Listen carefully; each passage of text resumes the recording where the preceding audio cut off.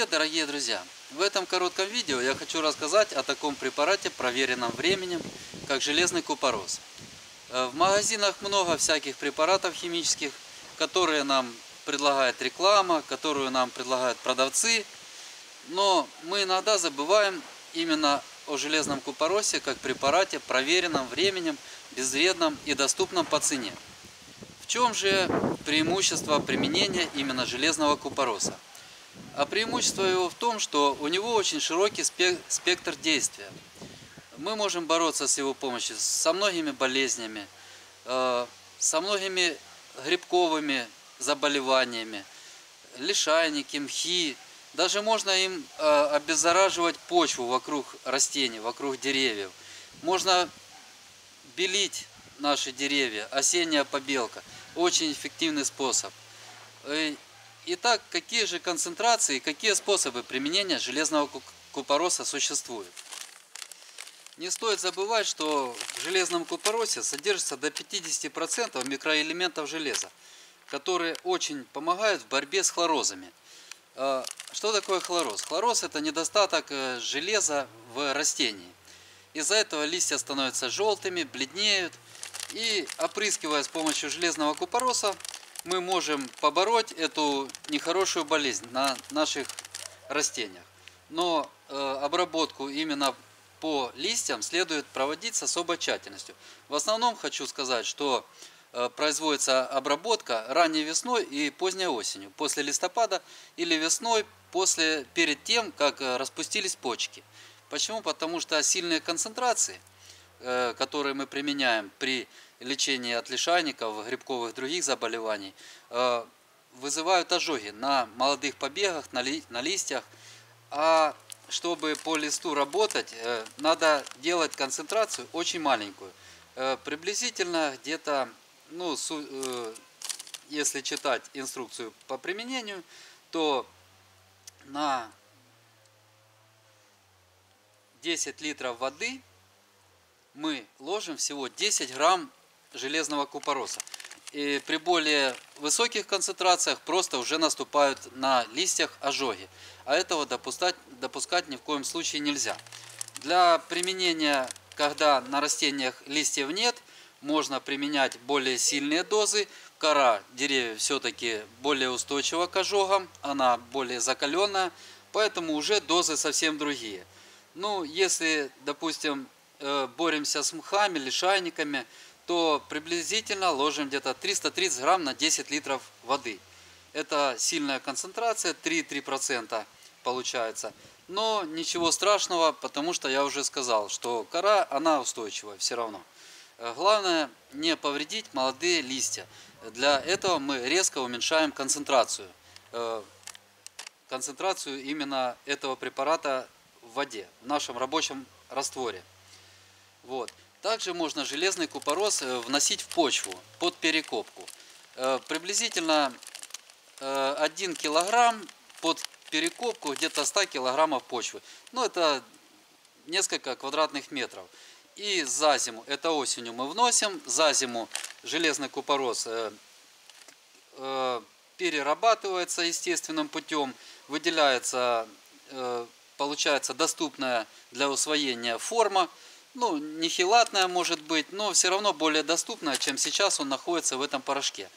И весной, в течение сезона, летом растения берут железо уже из почвы. То есть обрабатывать его от хлороза уже не придется, если мы внесем под перекопку.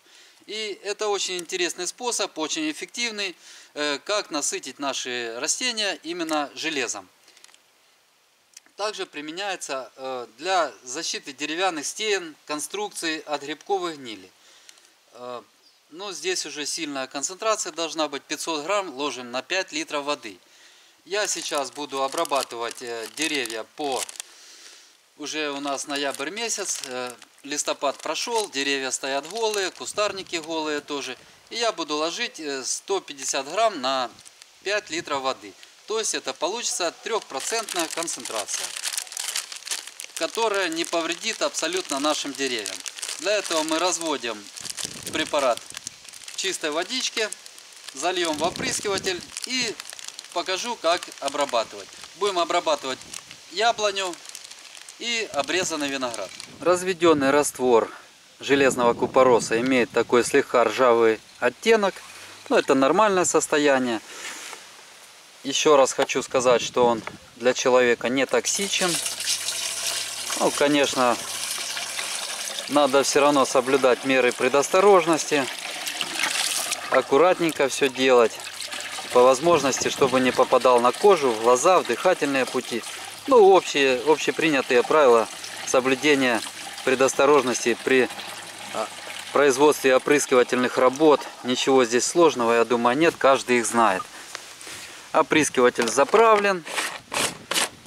И сейчас мы проведем обработку некоторых деревьев и винограда.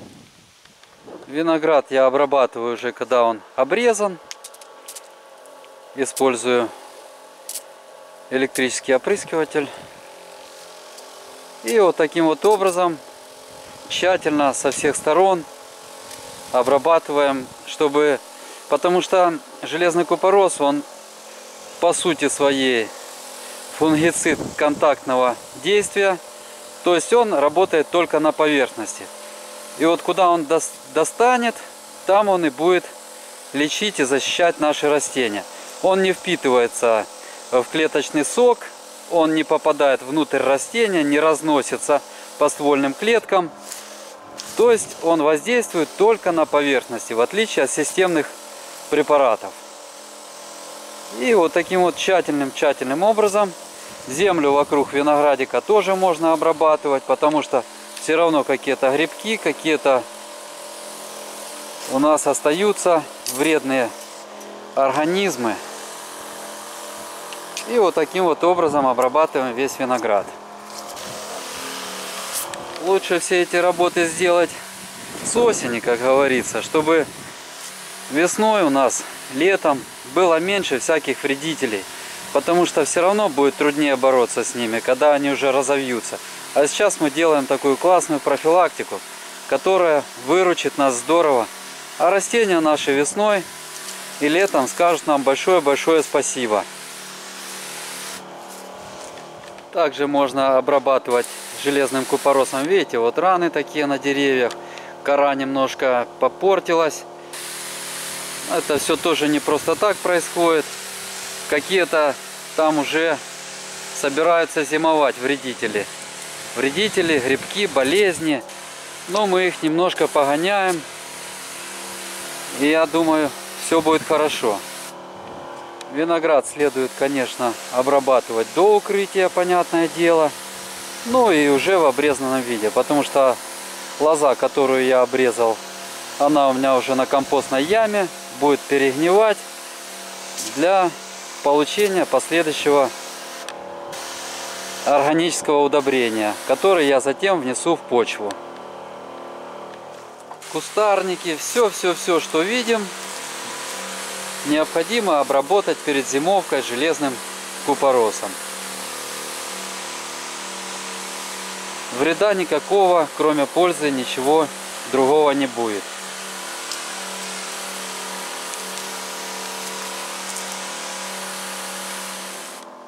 Также, также можно обработать срезанные розы.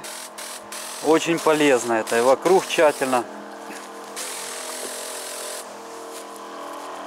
для роз железный купорос тоже принесет очень большую пользу.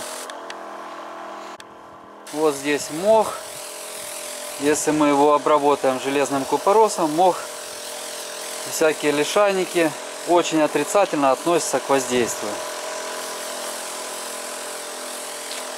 Стоит обработать, если на тротуарной плитке где-то у кого-то именно появляются такие образования грибковые. Это относится к грибковым заболеваниям, поэтому отлично железный купорос справляется и с, с этой бедой, которая приходит на наши участки. Конце лишь вкратце еще хочу остановиться на плюсах и минусах применения железного купороса. Ну, из плюсов можно сюда отнести. Это широкий, широкий спектр применения в борьбе с разными болезнями, вредителями. Э, мхами, лишайниками. Это доступность по цене. Это контактное воздействие на растение, то есть оно не нарушает э, внутреннее устройство растения. И э, также то, что железный купорос не токсичен для человека и теплокровных. Это из плюсов его применения, способ проверенный, надежный, как я уже сказал. Ну а из минусов это то, что существуют некоторые временные ограничения по применению, а именно это в основном обработки происходит, когда уже отсутствуют листья на наших деревьях и кустарниках. Вот. И то, что э, железный купорос, пос, поскольку он контактного воздействия, то есть он легко смывается дождями и в сырую погоду, конечно, лучше дождаться сухой погоды, обрабатывать сухую погоду. Э, для того, чтобы он полностью провел свое оздоровительное и лечебное действие, э, примерно с момента опрыскивания проходит около суток. Поэтому надо выбирать время обработки таким образом, чтобы э, смог воздействовать на наши растения со всей эффективностью и отдачей. Вот, собственно, и все, что хотел рассказать именно о применении железного купороса, о его плюсах, минусах, достоинствах и недостатках. Так что, если кто-то никогда не применял, попробуйте применить. Э, я думаю, вам этот способ понравится, потому что способ проверенный временем, способ хоть и старый, но надежный и работающий. Всего вам доброго, до свидания. Кому понравилось видео, ставьте лайки. Кто не подписался на канал, подписывайтесь.